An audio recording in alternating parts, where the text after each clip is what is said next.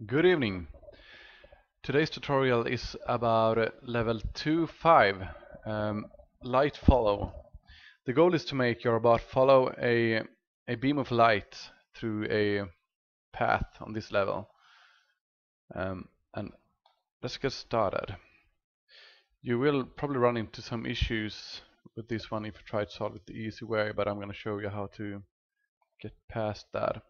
So first off, I'm going to use the P6S and as usual I'm going to show my snap lines and place the wheels.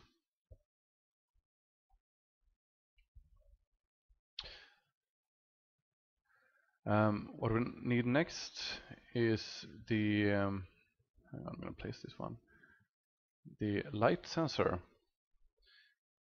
You can place them basically anywhere, just not too close together because they will show two similar values. They they will uh, they will uh, output a value of 0 to 1000. I found that about here works fine. And as usual, you want to name those to left and right.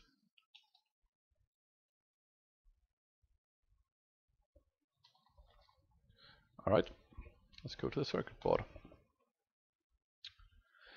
Um, I'm going to show you the a way that works in in theory. I mean, it, it works fine, but the light stops at the end of uh, just before the finish line, which will make your bot stop.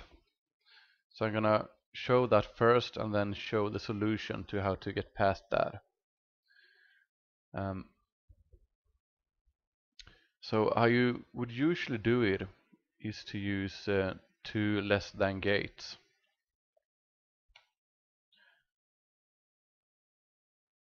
So if the if the uh, left sensor connect, connect these two if the left sensor outputs a value that is lower than the right sensor and vice versa for the other one. If the right sensor outputs a value that is lower than the left sensor you'll have to make it turn left or right.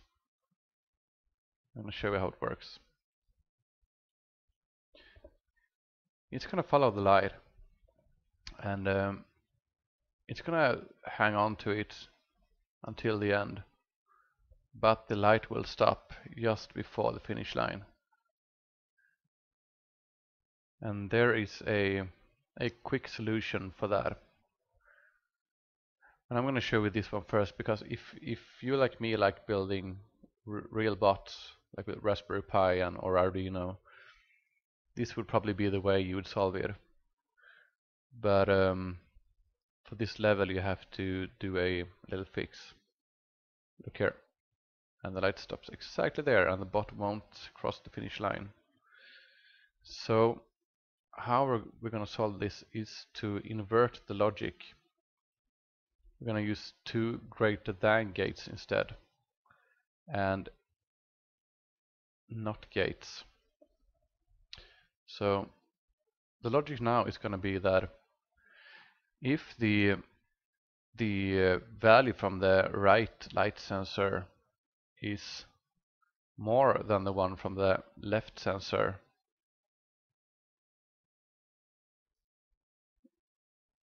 it will simply invert how it works. I'm going to show you. Yeah the the bot's gonna act in some strange ways but this way will actually make you finish all the awards for the map as well in terms of speed and and construction price and everything.